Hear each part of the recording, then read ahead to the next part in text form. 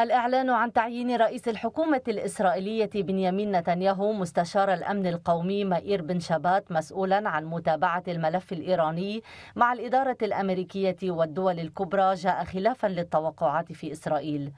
فبعدما كانت كل التقديرات تشير إلى أن رئيس الموساد يوسي كوهن هو من سيتولى هذه المهمة لكونه المرشح الطبيعي لها بحكم علاقته مع المسؤولين الأمريكيين والأدوار التي أداها في الفترة الأخيرة جاء قرار نتنياهو الذي كان موضع انتقاد في إسرائيل ولا سيما أنه يخلق وفق مراقبين تنافسا أولا بين كوهن وبن شبات اللذين يعدان المسؤولين الأمنيين الأقرب من نتنياهو.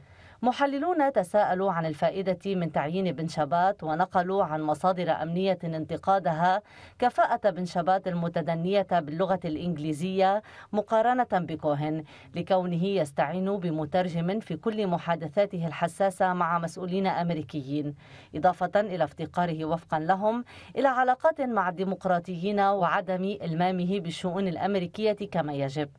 في المقابل أعاد هذا القرار والانتقادات المثارة بشأنه تسليط الضوء على الخلافات بين رئيس الموساد يوسي كوهن ورئيس هيئة الأركان العامة أفيف كوخافي على خلفية الموقف من الملف الإيراني ظاهريا والتنافس على الموقعية السياسية المستقبلية لكل منهما فعليا.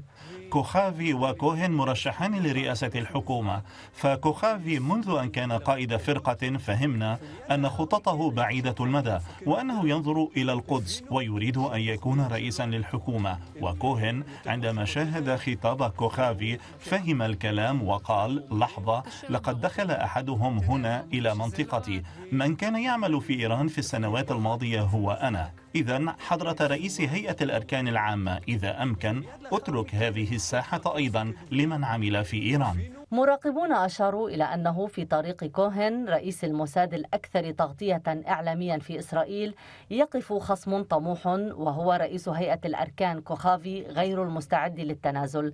ولذلك فإن التوتر بين الرجلين الذي أساسه تطلعاتهما السياسية قد انفجر إلى العلن هذه المرة.